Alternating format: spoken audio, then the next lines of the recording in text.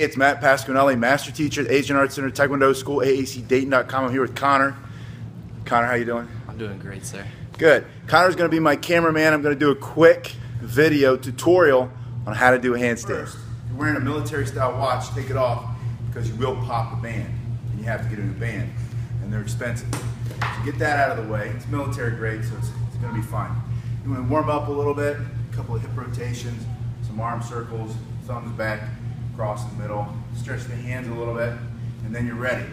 You're gonna start, look at the floor. I like to take what we call a front stance. We do martial arts style, so we're not here, this is gymnastics. We're gonna start right here, this is a martial arts style. We have a long stance, and we go slow to the floor. A lot of people jam hard to the floor. Let me show you what I mean. They jam hard, making it too difficult. They feel it here, they feel it here. I'm gonna go slow, nice and easy to the floor you get down to the floor, you're going to kick up a little bit. Kick up just a little bit. You'll notice I have a support foot. The other leg's coming up. This one's coming up just a little bit.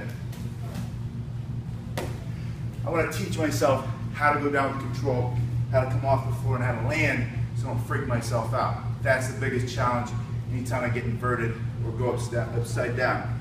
So I got my foot forward, I leg back, take a deep breath, slow to the floor, kick up, going to start to go up a little bit. I'm going to show you what happens.